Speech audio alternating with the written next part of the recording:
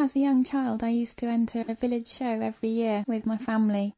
We all used to enter items of sewing and craft and cooking, and it used to take us weeks of preparation. It used to entertain us during the summer, which probably pleased my parents because it kept us quiet. One year we wanted to make some bread. There was some children's classes, and my brother and I made bread out in the garden with the help of my mum.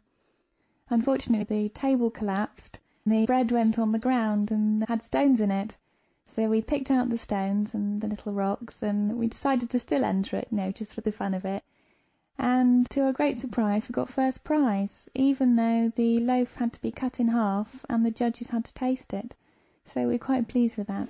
But we didn't hear any stories of the judges being ill, which was good, and we were quite pleased that we won first prize.